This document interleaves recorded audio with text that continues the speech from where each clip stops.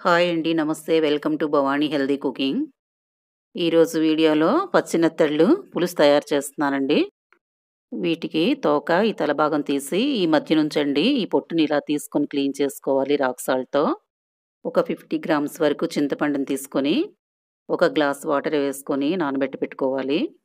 Stove on చేసుకొని ఒక five spoons వరకు ఆయిల్ వేసుకొని, ఆయిల్ హీట్ అయిన తర్వాత ఆనియన్ పీసెస్ కొంచెం, green chilli pieces, curry leaves కూడా కొంచెం వేసుకొని, లవంగాలండి ఒక నాలుగు వరకు ఇలా కొట్టుకొని వేసుకోవాలి. ఇలా కొంచెం ఫ్రై అయిన తర్వాత అల్లం వెల్లుల్లి పేస్ట్‌ని కూడా వేసుకొని, అంతా కలిసేటట్లు కలుపుకొని ఫ్రై చేసుకోవాలి. టొమాటోస్‌నండి చిన్న చిన్న పీసెస్‌గా కట్ చేసుకొని వన్ కప్ వరకు వేసుకోవాలి. వీటిలో సాల్ట్ వన్ స్పూన్, పసుపు హాఫ్ స్పూన్, కారం హాఫ్ స్పూన్, ధనియా పౌడర్ హాఫ్ స్పూన్, జీరా పౌడర్ హాఫ్ స్పూన్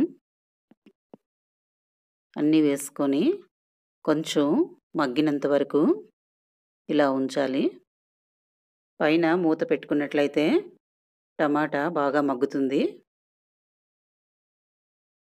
ఇలా టమాటా ఫైవ్ మినిట్స్‌లో మగ్గిన తర్వాత మనం క్లీన్ చేసి పెట్టుకున్న ఈ నెత్తళ్ళని వేసుకోవాలి. ఎక్కువగా కలపకూడదండి. కలిపినట్లయితే విడిపోతాయి శుభ్రంగాను. ఇలా నెమ్మదిగా అటు ఇటు కలుపుకొని, మనం తీసి పెట్టుకున్న ఈ చింతపండు పులుసుని కూడా వేసుకొని కొంచెం వాటర్‌ని వేసుకోవాలి.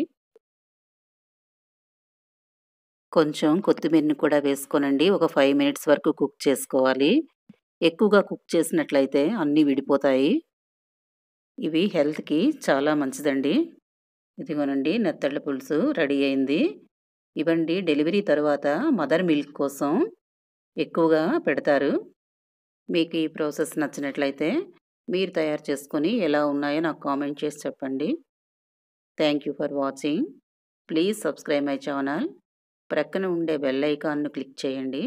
మీరు క్లిక్ చేయడం వల్ల నేను పోస్ట్ చేసే ప్రతి వీడియో నోటిఫికేషన్ మీకు ముందుగా వస్తుంది. లైక్ చేయండి, షేర్ చేయండి.